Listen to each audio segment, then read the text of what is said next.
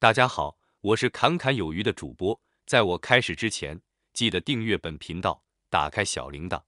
这样我发布新内容时，你才能获得最新的节目通知。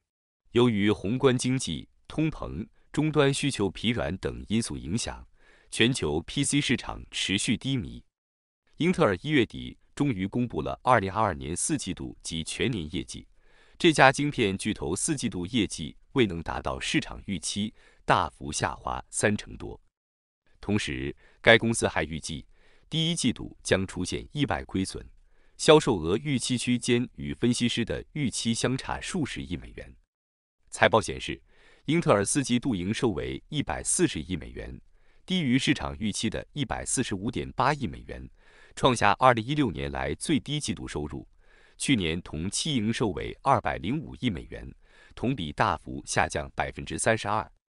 在盈利方面，英特尔四季度的毛利率从二零二一年四季度的百分之五十三点六大幅下降至百分之三十九点二，净亏损则达到七亿美元，而去年同期净利润为四十六亿美元，同比盈转亏，下滑幅度达到百分之一百一十四。从细分业务来看，英特尔的主要业务，包括 PC 晶片在内的英特尔客户端运算业务部门，实现了六十六点三亿美元的收入，同比下降了百分之三十六，低于市场普遍预期的七十六点八亿美元。PC 晶片部门的营业利润萎缩百分之八十二。其他业务方面，英特尔数据中心和人工智慧部门于第四季度贡献四十三亿美元的收入，同比下降百分之三十三。但略高于市场普遍预期的四十一点七亿美元。网络和创新部门四季度的收入为二十点六亿美元，同比下降百分之一。从全年来看，英特尔营收为六百三十一亿美元，同比下降百分之二十。全年净利润为八十亿美元，与上年的一百九十九亿美元相比下降百分之六十。按非公认会计准则计算，同比下降百分之六十五。在过去，PC 业务占据英特尔整体营收超五成，成为其财报的决定因素。从整个 PC 市场来看，去年四季度出现严重滑坡。根据 IDC 数据，二零二二年第四季度，含桌机、笔电和工作站在内的全球 PC 出货量为六千七百二十万台，同比下降百分之二十七点五，环比下降百分之九点五。英特尔方面称，为了重回正轨，该公司需要电脑制造商迅速消化库存，并重新订购零部件。另外，英特尔给出的今年一季度指引更是被市场视作灾难级，预计市场表现将相当悲观。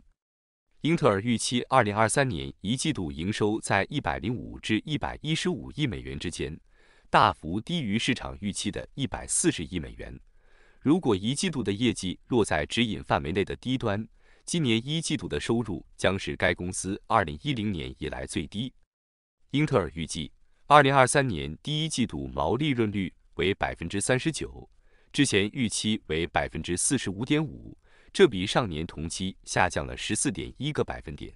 比其最接近的竞争对手 AMD 低了逾十个百分点，而且预计第一季度调整后。每股亏损零点一五美元，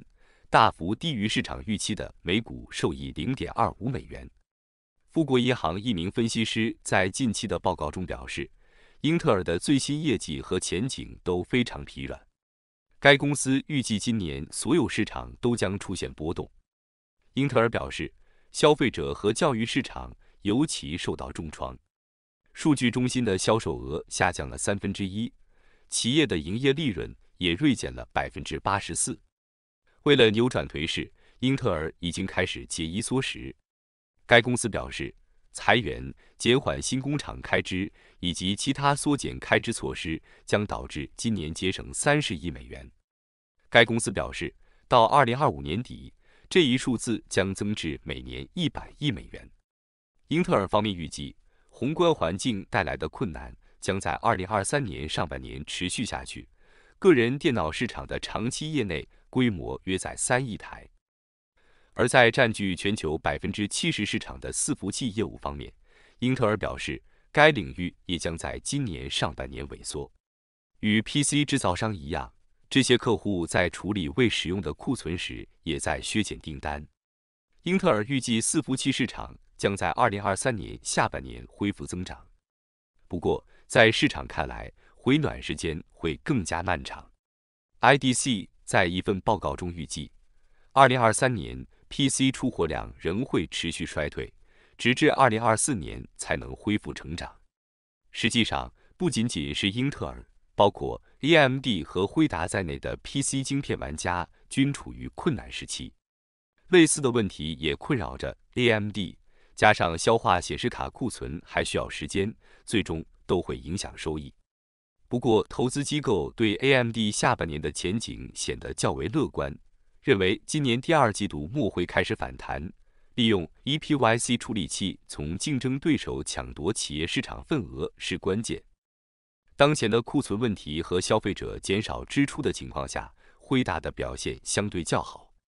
虽然游戏部门仍承受较大的压力，但已超出了分析师的预期。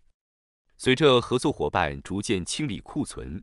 加上 RTX 40系列显示卡逐渐铺开，惠达在2023年的势头可能会比许多人想象中还要更强一些。据 Counterpoint Research 数据显示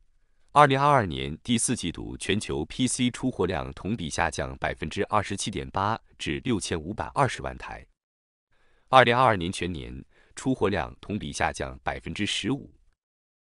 二零二三年上半年需求疲软将对出货造成沉重打击，年度出货量增长无望。但从历史数据来看，PC 出货量仍明显高于大流行前的水平。PC 市场萎靡导致英特尔业绩骤降，而消费电子的另一端智慧型手机行业则经历了近几年最为糟糕的一年。IDC 在一月底的报告显示，全球手机出货量去年创下了十年来最低水平，其中第四季度表现尤为糟糕。这主要是宏观经济萎靡和消费者需求疲软所致。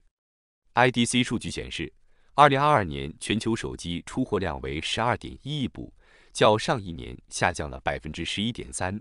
这是自二零一三年以来的最低年度出货量。IDC 称。造成出货量下降的原因是消费者需求大幅下降、通膨和经济不确定性。苹果继续保持全球第一大手机制造商的地位，该公司去年四季度 iPhone 出货量为七千二百三十万部，同比下降百分之十四点九。苹果当季的市场份额从去年同比的百分之二十三点一上升至百分之二十四点一。但销量却比去年同期下降了百分之十四点九，而三星的出货量仅次于苹果，四季度出货量为五千八百二十万部，同比下降百分之十五点六。小米排名第三，四季度出货量为三千三百二十万部，同比下降百分之二十六点三。IDC 的一名分析师警告称，鉴于全球手机出货量去年下降超过百分之十一。二零二三年将是谨慎的一年，供应商将重新考虑他们的产品组合，